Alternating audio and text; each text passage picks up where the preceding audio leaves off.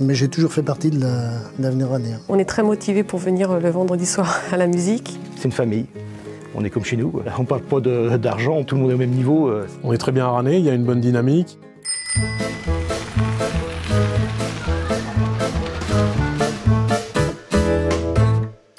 Laurent Morel, je suis né en 68 euh, à la Guerre de Bretagne et depuis 68 j'habite à Ranay.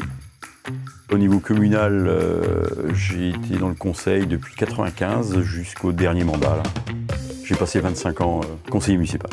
Je suis président de la musique depuis 94. 96 le président? 96, hein, on va retenir 96, l'avenir anéen. C'est une association qui a été créée euh, en novembre 1965, qui est partie d'une clique, comme on avait dans les campagnes, hein, donc euh, quelques tambours, quelques clairons, et ça jouait à l'oreille. Et puis ça a grandi depuis, quoi, hein, avec des, chefs successifs. Et puis aujourd'hui, on arrive sur une harmonie, quoi, avec euh, tout le panel d'instruments qui, peut constituer une harmonie. Donc Guy Ferré, je vais avoir 50 ans cette année. Donc, je suis euh, chef d'orchestre de, l'harmonie depuis 1996. On est rentré ensemble avec Laurent. Et euh, je joue depuis l'âge de 8 ans. Donc euh, également, je suis, je suis à mon deuxième mandat sur la commune. Donc j'étais premier adjoint sur le mandat précédent et je suis maire depuis 2020. Bah, la musique, c'est venu quand on était enfant. Il n'y avait, avait pas beaucoup d'associations, il y avait beaucoup moins de choses qu'aujourd'hui. Donc c'était la musique ou le foot.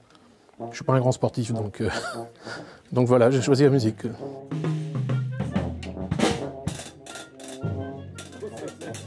Le groupe est composé de, 50 personnes.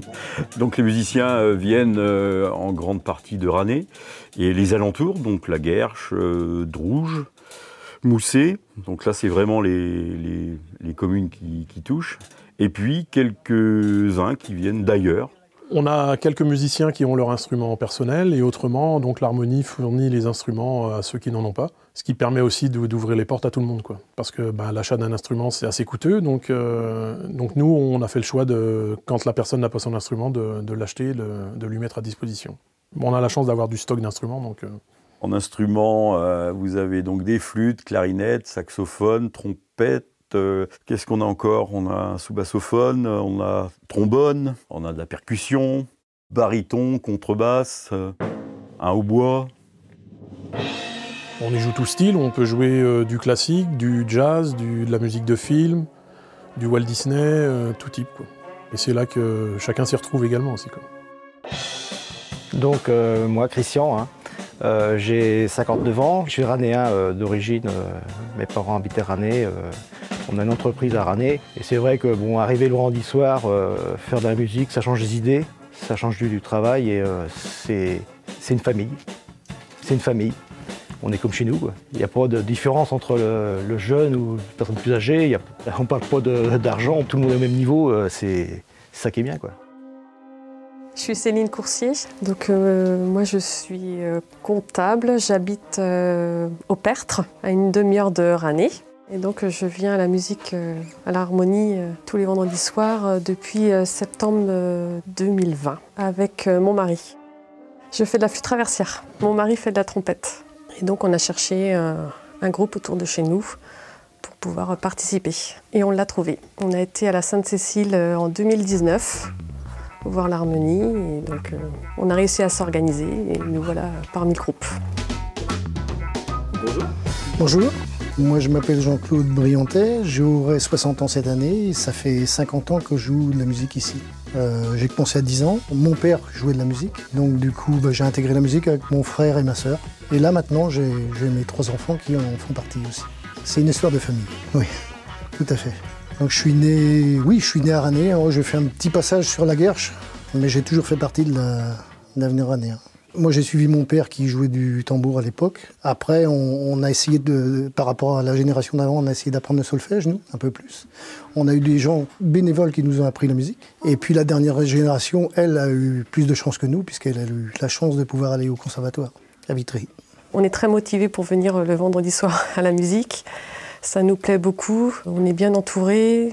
Les musiciens s'occupent de nous. Euh, et puis euh, l'ambiance, c'est vrai qu'elle très bien. Quoi. Il faut que ce soit intergénérationnel, autrement, c'est important. toutes les associations ne peuvent pas dire la même chose. Il faudra penser à baisser plus là, sur les 4 mesures de RITA de 87 à 90. D'accord? Lors des GPN, des Grands Prix nationaux, il y a un drapeau fédéral qui est remis à l'organisateur. Oui, effectivement, c'est le, le drapeau représentatif de la Fédération sportive et culturelle de France. Et donc c'est un drapeau qui est remis euh, un an euh, avant l'organisation des Grands Prix nationaux à la commune, du moins à l'association qui organisera les Grands Prix. Et donc nous, on a la chance de l'avoir depuis, euh, trois ans, du moins la chance, je ne sais pas si c'est une chance, de l'avoir depuis trois ans à la mairie, puisque bah, avec tous les événements qu'il y a eu ces derniers temps, donc on l'a eu, on l'a récupéré en 2019 à Bayonne.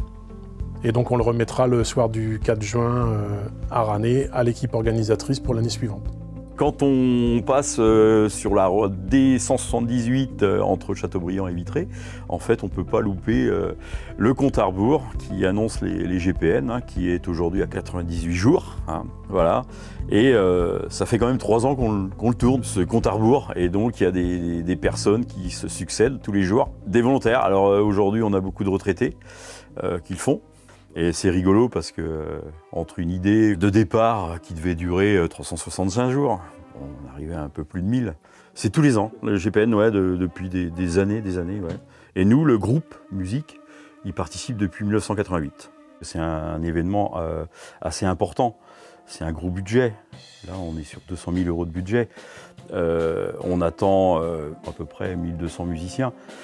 En parallèle, euh, on a euh, le festival euh, d'art en fête, le festival national, donc qui regroupe euh, des sportifs, euh, des acteurs. Donc il y aura de la peinture, il y aura du judo, il y aura du chant choral, il y aura de l'éveil, il y aura énormément de choses. Donc on peut aussi considérer qu'en plus des 1200 musiciens, on aura à peu près 300 acteurs qui viendront de toute la France euh, montrer ce qu'ils savent faire. Ici à les 3, 4, 5 juin 2022. Enfin. Effectivement, c'est une très très grosse logistique. C'est euh, 3000 m2 de chapiteaux qui vont être montés pour l'événement. C'est euh, des salles de concours, c'est des couchages, c'est plus de 1000 couchages. Donc c'est énorme. Quoi. Faut vraiment qu'on arrive au mini. hein. On va le refaire bien d'ailleurs cet enchaînement-là, double forte, forte, mezzo forte. Et il faudrait qu'on finisse sur un pianissimo. D'accord? Quatre dernières mesures. Et donner plus de, punch aux accents. Pam, pam, pam. On y va? Il y a des concerts de fait, il y a des, soirées qui sont organisées. On organise donc une soirée galette, en général en février, hein, qui, qui nous rapporte un petit peu d'argent. Euh, on organise aussi tous les ans une fête de printemps, le premier week-end de mai, qui euh, lie en fait la musique, l'harmonie forcément qui joue, et puis des véhicules anciens, et puis euh, les sorties, les kermesses, les anniversaires. Des fois, euh, le groupe est invité à animer un mariage, donc euh, tout cela euh, cumulé fait des rentrées d'argent. C'est pas mal les trompettes. Donnez un peu plus de son là. Pam, pam, pim, pam, pam, pim, pam. Plus solennel quoi. On est très bien à Ranné, il y a une bonne dynamique, il y a, il y a des bonnes associations, il y a, il y a la musique déjà en premier, et puis il y a un bon club de foot, il y a, il y a pas mal de choses.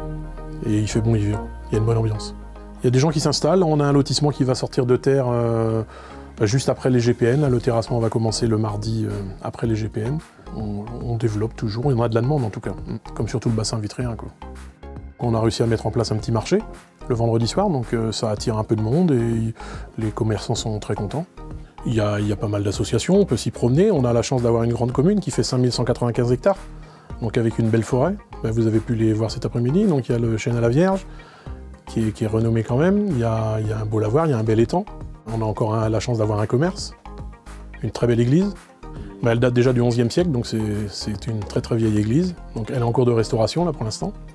Bah, c'est vrai que beaucoup de communes n'ont pas la chance d'avoir une harmonie. euh, avoir 50 musiciens dans une commune bah, d'à peu près 1000 habitants, c'est quand même une fierté. Quoi. Déjà, quand on est né à Ranné et qu'on peut rester sur euh, sa ville, euh, sa commune natale, c'est- pas mal.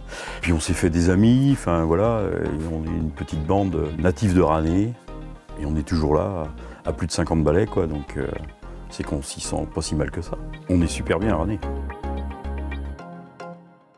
Le chêne à la Vierge Il faut prendre l'article de West France de la semaine dernière. Il y avait une demi-page. Ouais. Ça remonte aux protestants, donc c'était quand euh, la Révolution, il y avait un prêtre qui était apparemment caché euh, dans la forêt euh, parce que les prêtres n'avaient plus le droit de, de faire de messe. Une femme lui amenait à manger euh, tous les jours et euh, les soldats lui sont tombés dessus. Et euh, en fait, elle a été fusillée au pied du chêne, en fait, d'où ce chêne à la Vierge.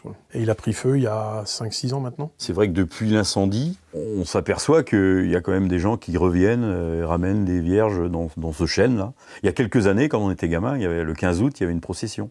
Et c'est vrai que nous, le chêne, moi qui suis né pas très loin de la forêt, quand on était gamin, on a joué en vélo autour. Quoi. Enfin, voilà. Comme l'avenir anéen aussi organise organisait avant Covid des rallyes vélos. Le sentier du rallye vélo passait par le chêne à la Vierge. On a eu un, curé de campagne ici, l'abbé Béni, qui lui était fédérateur, rassembleur. En fait, il était au cœur de tout ça. Parce qu'en fin de compte, FFCF, on fait partie de la FFCF, donc la Fédération sportive et culturelle de France. Euh, à la base, c'est catholique. C'est les patronages, c'est les anciens patronages. Et, je pense que l'âme de Rané associative, elle est partie de là, quoi. Et on, vit de, ce qu'il a fait, quoi. On, continue. Cette personne qui a été essentielle dans, la vie associative de la commune. Bah, ce qu'on souhaite tous, c'est que l'avenir ranéen bah, continue dans, son, dans ce sens, avec une intégration et puis euh, toujours une bonne participation des musiciens, et que dans 50 ans, on en parle encore. On va reprendre les mots euh, de l'association. L'avenir, euh, l'avenir de Rané, c'est l'avenir ranéen. Quoi. c'est peut-être un peu fort ça, mais...